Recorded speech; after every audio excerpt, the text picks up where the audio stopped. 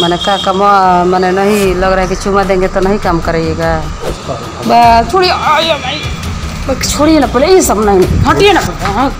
नहीं नहीं, पहले काम करिए, हटिए। मेरा स्कूल का हेडमास्टर जो है, वो आशुतोष कुमार राय है, वो भूमिहार है। मैं तो एससी चमार कास्ट से बिलोंग करती हूँ, सर। पता कर लिया कि महिला अकेले है। पति से अलग रहती है तो इस बात का नाजायज फ़ायदा उठाते हुए मेरा यौन शोषण करने का कोशिश किया। सोचिए कि हाई कोर्ट का ऑर्डर है फिर भी हेडमास्टर कितना दबंग है कि मेरा वेतन भुगतान नहीं कर रहा है सर। सबसे पहले तो हमको उनका पर्सनल जो पीए था वही मेरे साथ अश्लील हरकत किया है सर। इसके बाद यहाँ से विधायक मंत्री के साथ आपको एक दो दिन होटल में रहना पड़ेगा। इसके बावजूद बरांडे का मेरे पास वीडियो है सर। आप देख लीजिए कि किस तरह से हमको इसे खींच रहा है। रही कि ना मेरा पीए है ना मेरा आवास का घटना है। जाओ भागो यहाँ से। तुम जैसी दलित महिलाओं का काम होता है, आरोप लगाकर पैसा के लिए कैसे शिकायत दर्ज होगा? सर, वो डिप्टी सीएम का मामला है एफ़ क्यों होगा? क्यों एक्शन होगा? हम एक दलित महिला है, इसलिए हमको दलित का सजा मिल रहा है। दस बार मेल पे चिट्ठी भेजी कि, सर, मुझे न्याय दिलाइए, नहीं तो आत्महत्या कर लेंगे विधानसभा के गेट पर। कोई फ़र्क नहीं है। हमको दौड़ा कर ज़मीन पे गिरा कर बाँस उठाकर पीट दे रहा है, सर, हम अस्पताल में भर्ती थे, मेरा केस नहीं दर्ज होता है, सर। नमस्कार, स्वागत है आपका दिन टॉप में। मेरा नाम विशाल है। हम अभी एक राजद कार्यालय में मौजूद हैं। आपको बता दें कि हमारे साथ एक दलित महिला खड़ी है और वो एक शिक्षिका भी हैं। उन्होंने बिहार की डिप्टी सीएम रेणु देवी के जो गार्ड उन पर एक आरोप लगाया है। क्या कुछ आरोप है? हम महिला से ही पूछते हैं। सबसे पहले तो अपना नाम बताइए और क्या है पूरा मामला ये बताइए।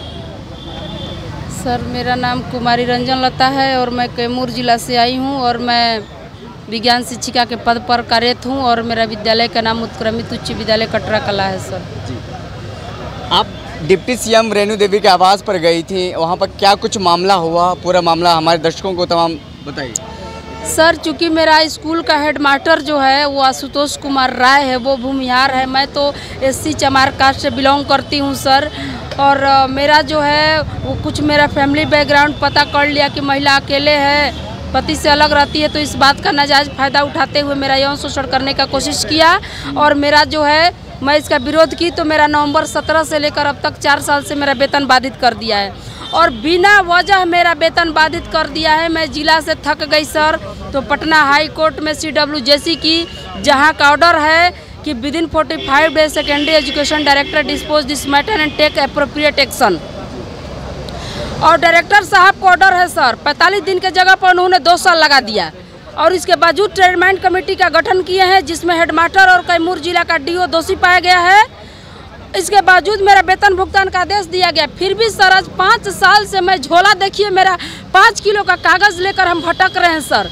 सोचिए कि हाई कोर्ट का ऑर्डर है, फिर भी हेडमास्टर कितना दबंग है कि मेरा वेतन भुगतान नहीं कर रहा है, सर। इस बात से आप अंदाज़ा लगा सकते हैं। तो इसी मामले में मैं गई थी डिप्टी सीएम के पास, सर, कि महिला है, एक महिला का मैटर है तो हो सकता है मेरे मैटर को समझेंगी मेरा वेतन का भुगतान करेंगी। तो डिप्टी सीएम आपसे बात हुई डिप्टी सीएम की? बात हुआ सर। सबसे पहले तो हमको उनका पर्सनल जो पीए था वही मेरे साथ अश्लील हरकत किया है क्या सर। किया पूरा मामला बताइए क्या किया है? सर जब हम गए तो वहाँ हमको गेस्ट रूम में बैठाया। इसके बाद सर बोला कि हमको डेढ़ लाख रुपया दीजिए डेढ़ लाख रुपया दीजिए। इसके बाद आपका मुख्यमंत्री को सीएम के पास नीतीश कुमार के यहाँ फ़ोन करेंगी तो आपका काम वेतन भुगतान हो जाएगा वहीं से डायरेक्ट। सीएम फ़ोन करेंगे तो। इसके बाद यहाँ से विधायक मंत्री के साथ आपको एक दो दिन होटल में रहना पड़ेगा फलान ढेकान सर इसके बाद लगा अश्लील हरकत करने। जब उठ कर मैं गेस्ट रूम से बाहर जाने लगी सर कुंडी बंद कर दिया सर। इसके बावजूद बरांडे का मेरे पास वीडियो है सर। आप देख लीजिए कि किस तरह से हमको इसे खींच रहा है?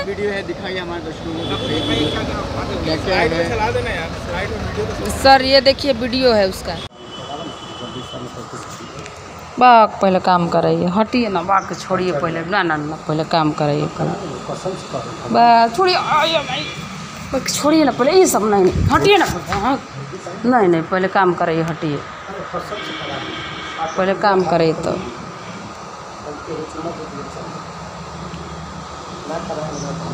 नहीं नहीं पहले मेरा काम करिए चलिए तब। काम करिए तब कुछ वैसे बात नहीं है।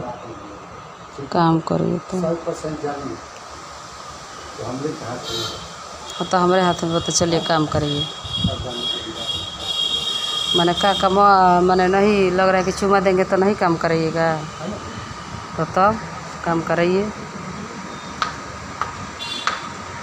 महिला से सुन लें कि उनके साथ क्या क्या हुआ है और स्क्रीन स्क्रीन शॉट तमाम आपको हम तस्वीर के माध्यम से दिखाएँगे कि देखिए महिला को क्या क्या भेजा भेजा हुआ है। ये वही है और ये देखिए मेरे पास कितना अश्लील बी भेजा हुआ है।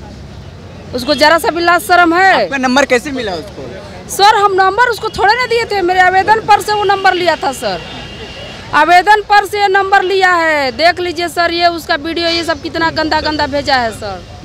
तो फिर उसके बाद क्या कुछ हुआ? आपने डिप्टी सीएम से शिकायत की कि आपका गार्ड मैं सर अंदर जाकर डिप्टी सीएम से आधा घंटा बाद जब मैं मिली तो मैं सबसे पहले मेरी काम प्राथमिकता नहीं थी सर क्योंकि मेरा जो है ऐसा नहीं कि मेरा शोषण के बल पे हमको पैसा चाहिए सर। मैं जब अंदर गई तो कही कि मैडम देखिए आपके ये पीए का करतूत देखिए कि एक दलित महिला आपके पास न्याय मांगने आती है और उसके साथ किस तरह का घृणित किया जाता है कर। तो कह रही कि ना मेरा पीए है ना मेरा आवास का घटना है। जाओ भागो यहाँ से। तुम जैसी दलित महिलाओं का काम होता है आरोप लगाकर पैसा के लिए। सर बताइए हम एक शिक्षक गार्ड का नाम क्या है? नाम बता सकते हैं? नाम क्या है संजय कुमार सिंह नाम है उसका संजय कुमार सिंह है। और, और फिर थाने उन्हें में शिकायत दर्ज कर हाँ इसका सर हम महिला थाना में आवेदन दिए गर्दनी बाग में सर। तो क्या हुआ? अभी तक एफ़ आई आर नहीं कैसे शिकायत दर्ज होगा सर? वो डिप्टी सीएम का मामला है एफ़ आई आर क्यों होगा? क्यों एक्शन होगा? हम एक दलित महिला है, इसलिए हमको दलित का सजा मिल रहा है। उनका भाई खुद कहा जा रहा है हमसे कि उनका भाई हिस्ट्री शूटर है क्रिमिनल है, नक्सली है, आपको गोली मरवा देगा, आपको, आपका नौकरी से बर्खास्त, अपना नौकरी बचाइए। तो क्या हमारा नौकरी बचाने के लिए हमको अपना शारीरिक शोषण होने देना चाहिए? क्या मुख्यमंत्री कहते हैं, बेटी बचाओ। शर्म नहीं आती है कि मैं मुख्यमंत्री के सर जनता दरबार में गई हूँ। दस बार मेल पे चिट्ठी भेजी कि सर मुझे न्याय दिलाइए नहीं तो आत्महत्या कर लेंगे विधानसभा के गेट पर। कोई फ़र्क नहीं है। मुख्यमंत्री मुख्यमंत्री के जनता दरबार में भी गई थी गए हैं सर? हमें क्या हुआ? नहीं कई बार गए हैं। गए हैं सर उनसे भी बोले तो बस वही संतावना है ठीक है। हम तो यहाँ तक बोले सर कि हम जो है विधानसभा के गेट के सामने आकर हम तो आत्मदाह कर लेंगे। मुझे न्याय दिलाइए मैं चार साल से भुखमरी के कगार पर हूँ सर। लेकिन कोई फ़र्क नहीं पड़ता है ये गुंगी बहरी ये अंधी सरकार है इसको कोई सब बिहार में इतना भ्रष्टाचार है। मैं एक जीता जाता उदाहरण हूँ सर। खुद आप देखिए कि हाई कोर्ट ऑफ़ डायरेक्टर का ऑर्डर रहने के बावजूद मेरा वेतन भुगतान नहीं किया जा रहा है। हेडमास्टर कितना दबंग है सर। आप बताइए। आपके परिवार में कौन कौन है? सर हम पति से अपना अलग रहते हैं। ये मेरा निजी मामला है। सॉरी मैं इस पर कुछ नहीं करना चाहती हूँ। मेरा संबंधित मामला है आप मुझसे जो सवाल पूछना this is my personal my matter और मेरा प्रोफेशनल मैटर है।